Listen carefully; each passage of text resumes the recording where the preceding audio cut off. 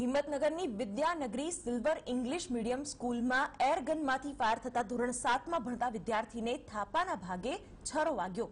આ વિદ્યાર્થીને સારવાર માટે તાત્કાલિક સિવિલ હોસ્પિટલ ખસેડવામાં આવ્યો. ઈજાગ્રસ્ત વિદ્યાર્થીનું નામ આશુતોષ રાધેશ્યામ તિવારી છે. શાળાના કેટલાક વિદ્યાર્થીઓ મેદાનમાં એરગન સાથે રમતા હતા, ત્યારે રમત રમતમાં જ અચાનક ફાયર થતા એક વિદ્યાર્થી આશુતોષ ઈજાગ્રસ્ત થયો.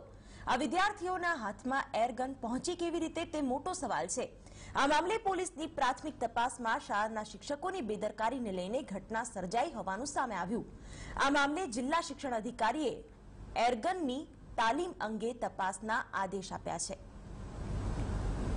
और टेंथ स्टैंडर्ड का प्रैक्टिकल का एग्ज़ाम चल रहा था तो परीक्षा होने के बाद में एग्ज़ाम जैसे ख़त्म हुई उसके बाद में प्रैक्टिकल एग्ज़ाम में जैसे बच्चे घूम रहे थे तो बंदूक जो राइफल शूटिंग करवाते हैं, उसका जो छरे वाला से वो राइफल शूटिंग करवा रहे थे। तो उसके अंदर क्या है कि एक बच्चे से मिस हो गया और बच्चे को लग गया। बच्चे को लगते ही हमने उसको तुरंत ही डॉक्टर के पास लेके गए और उसका एक्सरे निकलवाया और पेरेंट को तुरंत जान की है और उसके बाद में बच्चा अभी सुरक्षित है, उसको सिविल में लेके आए और जो छरा था लगा, उसको निकाल लिया है।